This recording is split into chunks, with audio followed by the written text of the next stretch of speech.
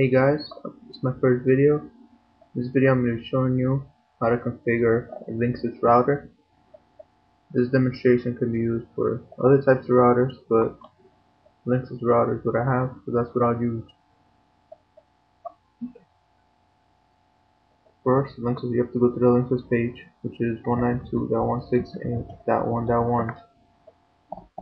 This window is going to pop up default routers have username as admin, password as admin.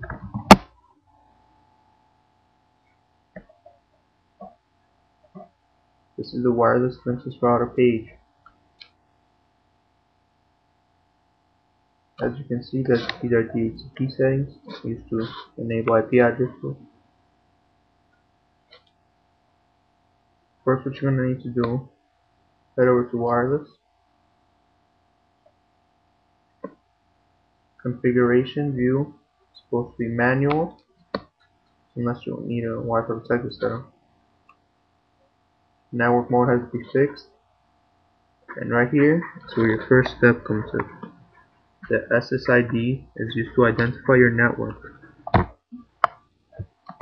You can change this to whatever you want to enable your network, but best broadcast is you're not gonna actually see this so nobody can hack into your wireless.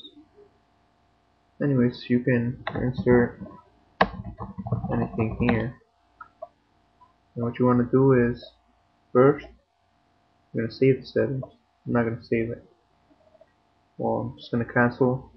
Just click Save Settings, save and pop up. I'll just save settings with my old settings to show you. you save settings, this page pops up. Okay.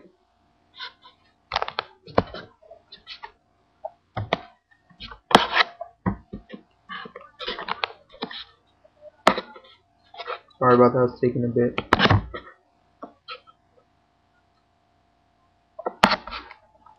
Changing my bandwidth. As you can see, it's reconnected to my network right here. Okay, the next thing you want to do is go head over to security. As you can see, the first and last button needs to be clicked. Then we're going to go back to wireless.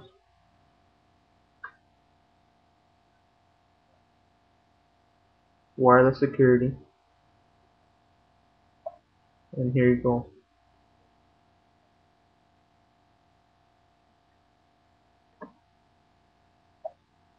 The best wire security would be WPA2 personal, which means basically that you can enter anything.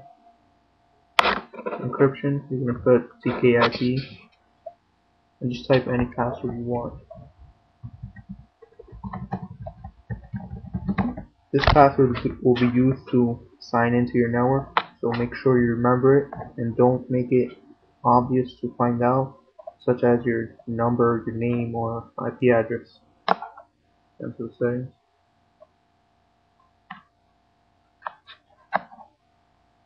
I guess I'll have to change mine because I guess you guys saw my password. Anyways, we're gonna go to access restrictions. You see this has to be one. Edit. You have to allow access during all the times.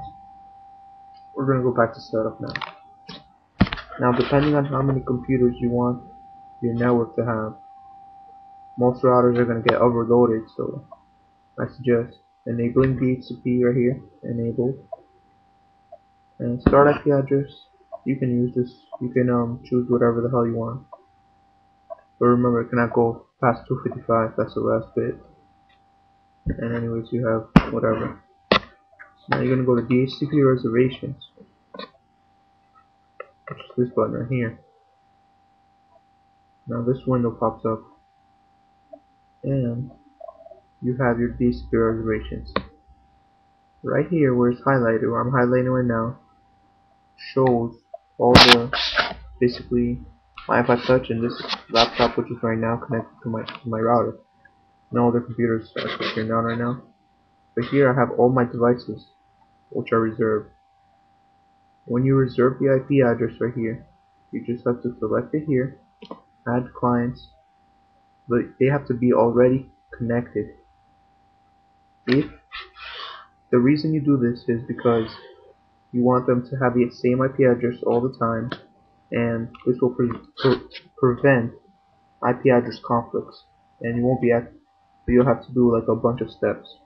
I'll make another video on that. Anyways, we're gonna exit this page. Now, once you're into these two settings, we're gonna go back to wireless. We're gonna go to wireless MAC filter. Now this is very important. MAC filtering is one of the best securities on this. You're gonna enable MAC filtering right here, and you're gonna click this button, which allows the MAC addresses that you insert here. Those are the ones that are allowed to connect. Any other type of MAC address will not connect to this network. It will be blocked. If you know a specific MAC address, you can click this prevent, and then just practically answer the MAC address right here in one of these boxes. Anyways, to find out the MAC address, all press start, run cmd. You want you enter the command prompt. You're gonna type in ipconfig space slash all. This is a basic command. Shows you everything your IP address in a server, whatever. You're gonna scroll up right here, and right here, this is your, your physical address. Is your MAC address. As you can see, this is this one. It's my first one right here, MAC address three. So basically, yeah. Okay, once you have MAC filtering, you're gonna want to go back to basic wireless settings, and then you're gonna disable SSID broadcast.